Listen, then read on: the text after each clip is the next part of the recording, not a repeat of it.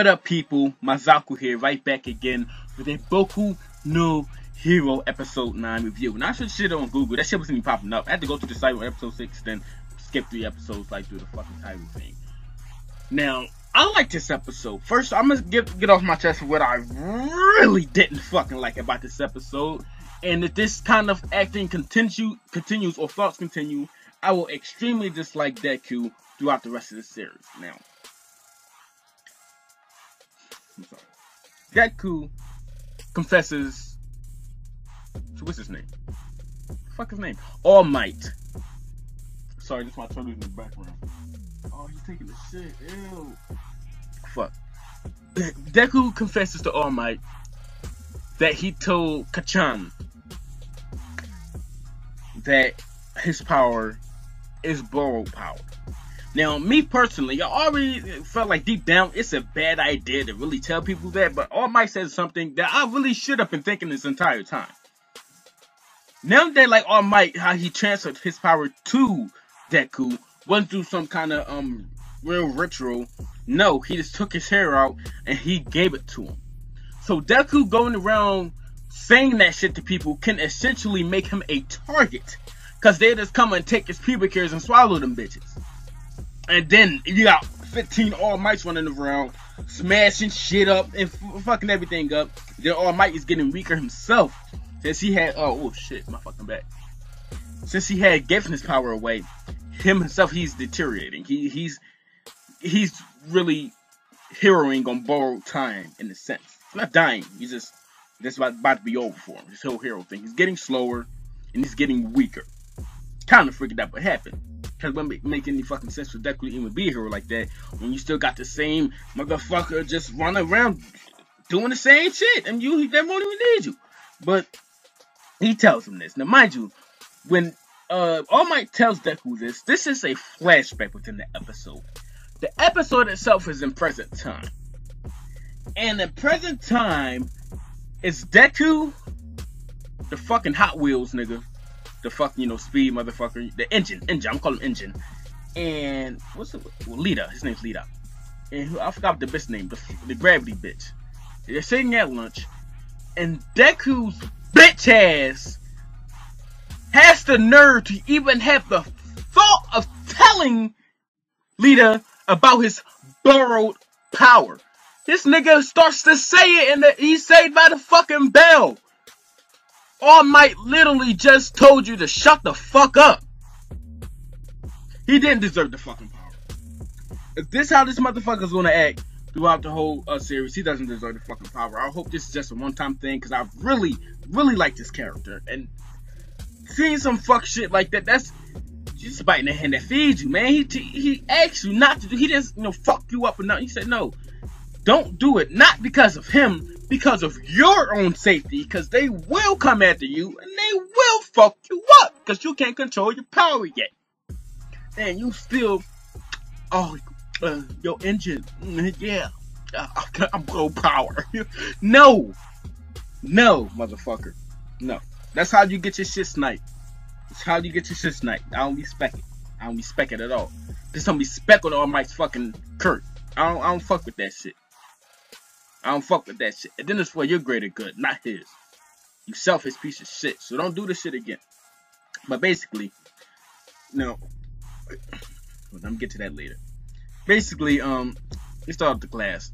First off, I didn't like the beginning of the episode either about how all the pressing people came. I guess I don't know if that's fillers. I never liked pressing any anime because I feel like they're just a waste of comedic relief time. It's not even comedic at all. It's just like get the fuck out of here. Like we heard All Might has been, you know, hired here. Huh? No, fuck out of here, bitch. Get out of here. So they have this thing where they choose like a, a, class president and I guess an advisor or some shit like that, or some vice president kind of shit. Kind of went under. And Deku wins. And Deku didn't want to win. Uh, Engine did. So they didn't even vote for Deku because how Deku reacts in you know critical times, which you know he kind of reacts pretty well as a hero should kind of the only one in that fucking facility right now who to really react like that besides Zeros themselves. So he gets that credit for that and he becomes the president. Now, during this whole press thingy, or after it, I already knew something was up when the alarm went off. I'm like, okay, this press thing happened like how many minutes ago, and the alarm still went off. So we have uh, a bunch of uh, UA students, you know, running the hallways, panicking, and we have um Engine. He comes up with a good idea because we can't really get anywhere. He tells um fucking gravity bits to touch him and make him float. And when he floated, he uses uh engine fucking Hot Wheel shit. Go up against the uh, wall, gas pipe, tells everybody, yo, it's just a press. We good. We good. So he calms everything down. This is kind of like foreshadowing that he should really be uh the class president. And here comes the next scene where I fucking laugh my ass off. Like, first off, Deku didn't want to be president anyway, so he's sitting there up there like fucking like, uh, yo, trying to explain to class. you nigga straight bitches and like, oh, dude. Oh, that's probably like the only time when he be scared and shit that I actually was cracking. I was sitting there at the desk crying, my nigga. I was sitting there at the desk crying. This nigga like, oh, um, for this class, uh, vintage Deku, man. Basically, he resigns and he gives um Engine Boy uh the uh, fucking whatever this shit called the presidency. And we uh, also do find out Engine Boy is a rich boy. I kind of figured that out. You know, by the way, he spoke kind of like them, and his older brother is also an engine rich boy. He has like 65, 65 sidekicks running in the building for him. So his brother is kind of a boss. I wonder who the hell his father is, since he said it's a whole family feud thing. Who the hell was your father? Who's your father, nigga? You a lost nigga. Like, let me get my little deluxe bag. But that's pretty uh, nice to know about him. It's kind of a little bit of development too, you know. He's come from a line of heroes, and he has like got some similar power to them. And he could, you know, his goal could be to surpass his brother. He wants to be like his brother. Deku wants to be like All Might. They both dicky, and but whatever. Hopefully they uh surpass All Might, and he surpasses his brother, Engineer, whatever his fucking name was. And Deku even knew uh, who his brother was. Deku has the best intellect on these heroes. He has to shut down the fact Deku is the real motherfucking deal. He has power and uh intellect. I really think once he mastered his power, nobody's going to be able to touch him. He's a fucking Deku, bitch.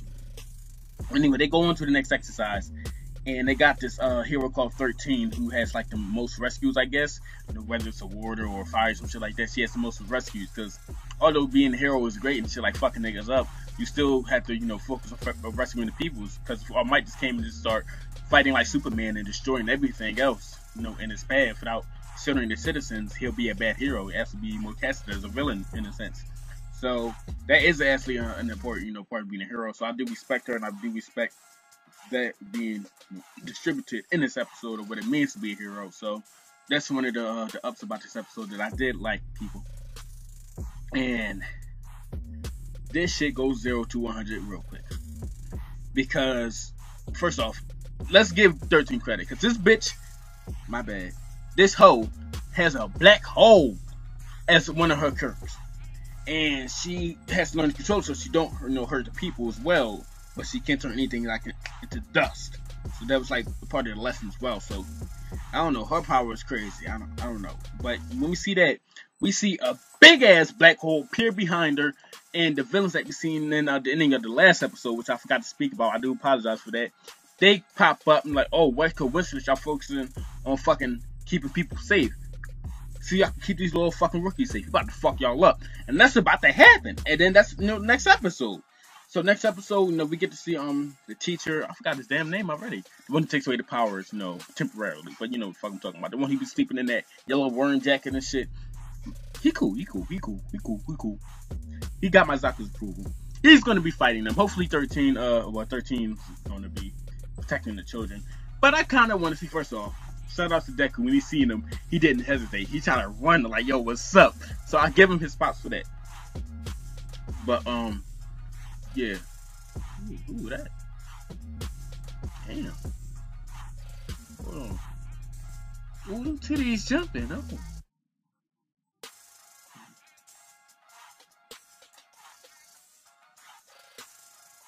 Yeah, get out that car. That bitch can't even Park. Now mind. But yeah, that's basically it. And it seems like it's about to be all out brawl. I do kind of want to see one of the rookies going in, or slap some shit up. But I'm gonna be honest, they might just die. So hopefully, no episode is as promising in this one as far as rating overall. I get this a seven out of ten rating. Pretty good episode. Give it a C, C plus, whatever, or just regular C. Thank you guys for watching episode. Like, comment, subscribe. Peace. I'm out.